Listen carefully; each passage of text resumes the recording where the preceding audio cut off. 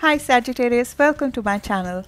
On 24th of July, Sun and Moon opposed each other, illuminating 1 degree 26 minutes of Aquarius, forming a full moon, which will influence us for the next two weeks, bringing certain conclusions, realizations, culminations and release.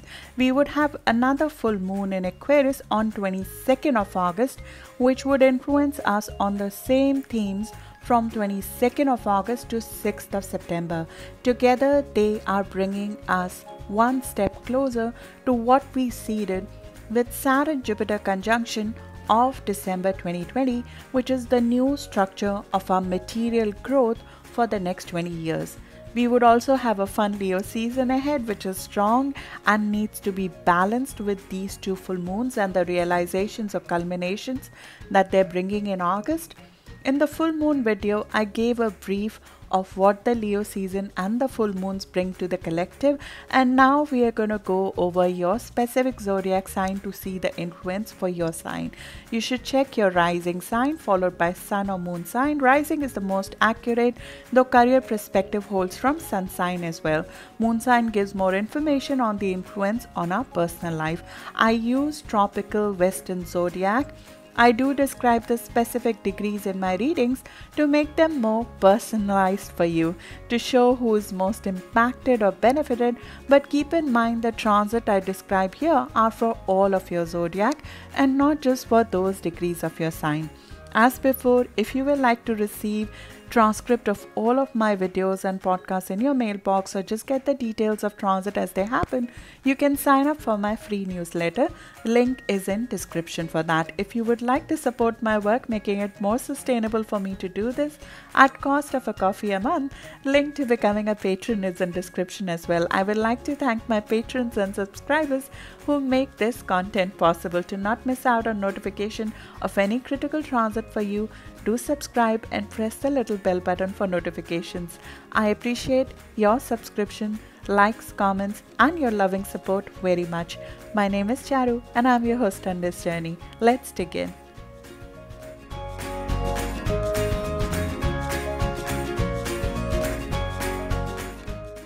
Sagittarius both the 24th of July and 22nd of August full moon, they activate your house of communication and commercial endeavors which are linked to self-made wealth and self-expression. This makes the next few weeks commercially and in communication very busy and lucrative. It could bring a conclusion of a communication project, launch of a written or media project, commercial, commercialization of a skill, written contract around your work, formalizing structure around something that was previously just a thought or an idea seeded in January or February. We master a skill and now look to see how to live it, to advertise it, to market it, to commercialize it. This is mundane versus high level thinking, so we need to get into the details of commercial or communication matters, which could mean learning something new in terms of skill or media or commercialization or restructuring our skills. As your ruler moves back in this house, Jupiter moves back in your house of commercialization and communication from 28th of July, you will feel more amped up, more positive, more confident in your communication and in your skills. We must relay our inspiring vision, and this is an opportunity to do that and to put it into a workable model. A commercial contract could specially come through which has been in works for a while. You are an unconventional thinker, the ideas person, and this uh, this time brings sudden insights, downloads, knowledge, which can be brilliant and useful or gainful. The downside is your words can come out too fast, and we need to watch out um, to say something too soon or too much or divulge something too soon. Some information, some piece of information that was not visible to you could also come to perspective now, which can help you in your commercial success. Reading, learning about progressive topics, is talking or learning about future trends, speaking on current trends, radical free thinking, networking, investing in state of art communication devices, self education, public speaking, imaginative futuristic thinking and writing, fun explorations leading to inventions, discovery of trends, and then talking or writing about all of that are the focus for this period and are all the road to growth and legacy for you. Sometimes a change in neighborhood or a change in siblings' life or joining a key internet forum or meeting a key media personality or meeting an old family friend or schoolmate can come into focus that stimulates the mind. Stimulation of mind is the focus, and com- communication and commercialization and commute are the focus with these two full moon, and this will especially come into focus between 24th of July to 8th of August, and then again 22nd of August to 8th of September to early part of September. Saturn Jupiter are together in this house for you, in your house of thinking, in your house of communication and commercialization. And they are laying down the seed of a new way of thinking. And they started with that with the December 2020 conjunction, marking a new phase or source of commercial growth for you. Now, this comes with its own share of mental stress and it can be hard to relax, but it creates enormous amount of potential to write, to publish, to express, to um, to essentially formalize some ideas in a concrete form. But there's a need to balance this energy to get out of overthinking, over pondering, and getting out of your way by getting out there. Because sometimes we can be too much in our mind, too much in our head. There can be a lot of information in our mind, but we can feel scattered with this energy. You have to sometimes pretend like you're teaching someone and then you will be able to get a perspective out on a much easier basis because you'll feel scattered with too many ideas and too many insights at this time. And overall it's a very nervy energy. You can have great creative ideas which are source of wealth and investments. We need to get into implementation mode versus thinking mode now. Saturn and Jupiter, they will be reaching their midpoints while and they will bring new information that we did not see before on your commercial and communication endeavors or the skills that you're trying to learn. Formal education might feel essential to change gears if that's what you're trying to do. And many of you might be looking to change the skills that you use, change the skills that you commercialize. With Saturn here, we are restructuring our mind, our skill, our communication style. Your role as a communicator, information specialist, speaker, writer, salesperson, public speaker, teacher, networker, media figure might be coming into focus as we saw the first, as we sort of are going to see the first sign of things being firmed up in your commercial house. And this will also bring out certain changes or the next level of restructuring that is required to enhance your communication and commercial skills. Old knowledge is being released and new acquired. The one that would be your legacy. The skill sets that you're acquiring now, they are part of your legacy. They're part of creating growth for long term for you. Jupiter moving into your house of communication and commercial endeavors after 28th of July, it will help you in these pursuits, bringing more knowledge, more opportunities to connect, and a fresh perspective on these matter.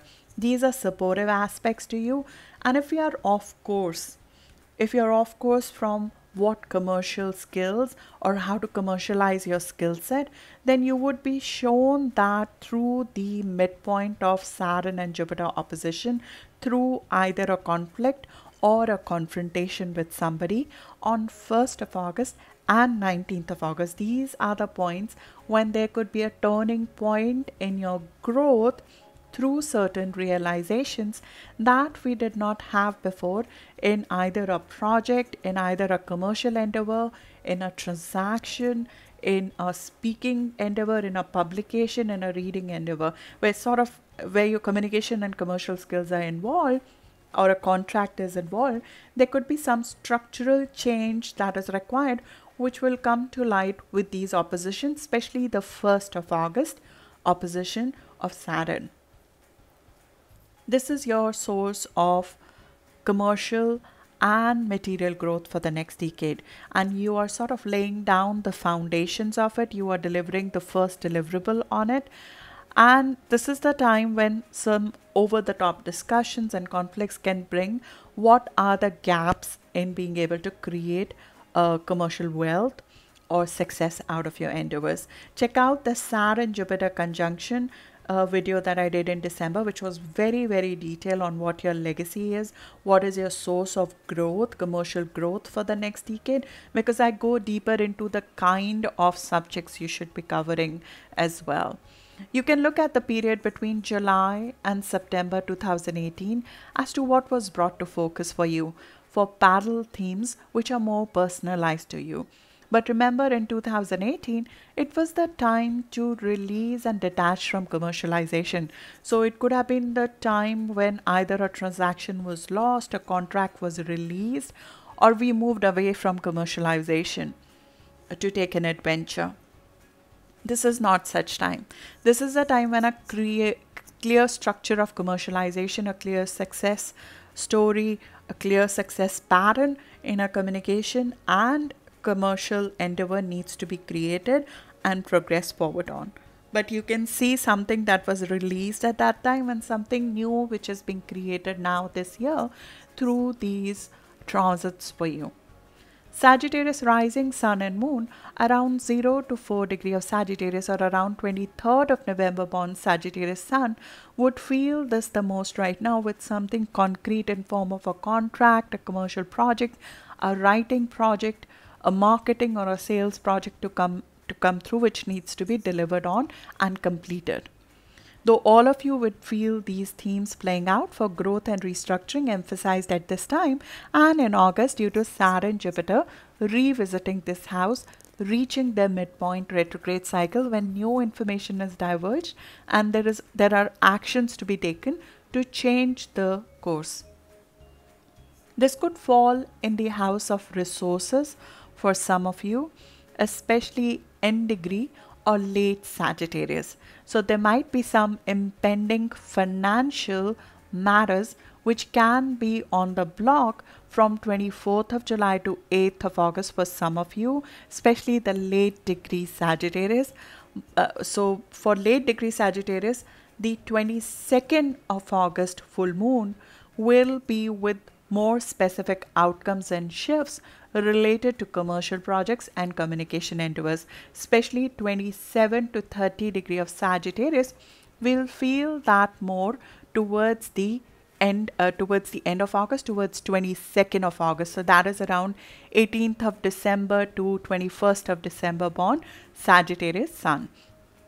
They will be more benefited by this commercial and communication projects and endeavors coming to focus with the 22nd of August full moon.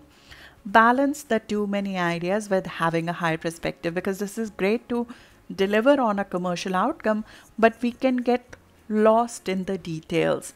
Too many ideas with having we, we need to have a higher perspective of what's the end goal, what are you going for, what's the end game what is the higher path hereafter especially if you feel you're too much in your mind or getting lost in details you need to create like a mission statement or a higher goal for you and it's what you do best. You normally have a long term um, adventure a long term goal a long term vision in your mind and then these smaller projects and multiple ideas they can all be organized around it. What's the higher ground and in Leo season, you would be wanting to take a leap. Leo season is a fire season, so it's in positive aspect for you. It is normally the time when you take a leap of faith. You are uh, moved to take an adventure, and two Aquarius moons they will help you create the details behind that leap. Uh, Leo season helps you find the higher perspective, give you the guts to take a leap. But the two Aquarius moons, which are happening one from 20, which will influence you from 24th of July to 8th of August and the other one which will influence you from 22nd of August to early September, they are both creating the base, the detail, the mundane details that need to support that leap that you're about to take. There is possible that for taking an adventure to do a travel, to go to a foreign country, to relocate, you need to do a lot of paperwork, and that is what is coming into focus. Leo season helps you find higher perspective or a guru or a mentor or a foreign influence that gives you some sort of higher perspective or a new direction where you want all of these things to go. 8th of August, Leo new moon, it's an impulsive and a bold one. And it's happening in your house of leap of faith. So, Leo season uh, sort of gives us that guts because you're a fire sign, so it amps you up. And it is a very impulsive and bold move which can infuse fresh zest and faith in your life. So you'll feel in your element with that 8th of August new moon, it will amp you up. And that can happen either through a new travel, through an adventure, through change of scenery, through new publication, opportunity to connect with people who are different from you culturally, or to be in a foreign country. This can be uh, sort of the thing that you need to bring you back in your element because this is your house which is getting activated and you'll feel in your element with the 8th of August new moon which will infuse fresh adventure in your life especially between 8th of August to 22nd of August. This can bring a higher perspective your life goals to focus and since this is your natural element it would physically also amp you up you would look to take a leap of faith which is for some of you could be an opportunity to expand have an adventure um, through an expansion on on the job a new role on the job which is more expansion which gives you more expansion a travel a mentor a publication you could sort of go for a higher education or certification, which gives you higher opportunities. You could travel, travel in the mind or in body by sort of reading, learning, connecting with people who are different from you. You could explore new cultures, new ways of leave, uh, living. Uh, this could be through legalization in a new country, through relocation. It could be through becoming a teacher or just getting an opportunity to share your knowledge through being on the stage or platform of sorts. This is in positive aspect with you. It will help you expand, gain a broader perspective, and it can bring greater opportunities of self-expression and growth for you. But they would be very, very bold. The endeavor that you take on with this leap of faith will be very, very bold, and it will require you to move out of your comfort zone. It might feed your inner need for freedom in your day to day work. So that can be really positive for you because you'll be doing some innovative work that you've been looking for. This especially benefits around 16 degree of Sagittarius, rising sun or moon plus or minus 3 degrees or around 7th of December born Sagittarius sun 3 days before and after. This is a very very positive but impulsive new moon for you so be careful in terms of that the option the leap that you're taking it has been thought out before and it's not coming as a spur of the moment because there can be an element of surprise and impulsiveness embedded in it. You have to keep in mind that in August we would have Uranus, the planet of sudden changes, uh, standing still. So it will exaggerate our need for freedom and change in work and health routines, which can bring some sudden power struggles with coworkers or inability to keep a routine. You will seek more freedom and independence in your day to day or a very unique structure. So, this adventure can be driven by it, but at the same time, you have to be careful that it doesn't just burn some bridges because you'll feel very, very amped up to uh, to not be under the thumb of anybody. There could be a sudden need to change the nature of your work or your health habits. As we seek more freedom in our day to day life, we are more likely to rebel against any kind of authority or constraint. Uranus will be going retrograde around 20th of August, so this will play out very, very strongly at that time. It will be standing still, aspecting 15 degree of Sagittarius. So Sagittarius rising sun or moon around 15 degree of Sagittarius, 2 degrees before and after, or Sagittarius sun born around 6th of December, 2 days before and after, would feel this urge to be free and rebel against any authorities in personal or professional life the most and the leap of faith can be driven by it we need to specifically watch out for health and nerves at this time around 20th of august because this can be a very nervy aspect.